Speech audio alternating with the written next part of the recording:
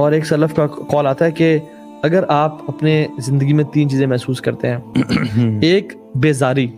बेजार हो चुके लाइफ में मज़ा नहीं आ रहा। किसी किस्म का किसी चीज़ में दिल नहीं लग रहा। दूसरा इबादत में सुस्ती।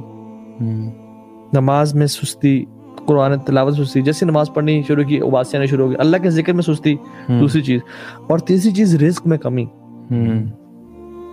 ये अगर तीन आप चीज़ें महसूस करते हैं उन्होंने क्या कहा अगर if you are experiencing these थी थ्री थिंग्स जो कि हमें से अक्सर लोग कह रहे हैं उन्होंने कहा जान लो कि तुम्हारी जबान से ऐसे अल्फाज निकल रहे हैं जो नहीं निकलने चाहिए थे। और हमें आजकल यूथ आती है हमसे पूछती है इवन अपना सबका ये हाल है कि यार नमाज़ में दिल नहीं लग रहा सुकून नहीं मिल रहा। दूसरी बात बेजारी है लाइफ में। कुछ करने का दिल नहीं किसी चीज़ में इंटरेस्ट नहीं हो रहा। और तीसरी बात रिस्क रिस्क कम से कम होता जा रहा है। शादी शादी होना रिस्क है औलाद नहीं आ रही रिस्क है। तो जानने के जबान से ऐसे अल्फाज निकल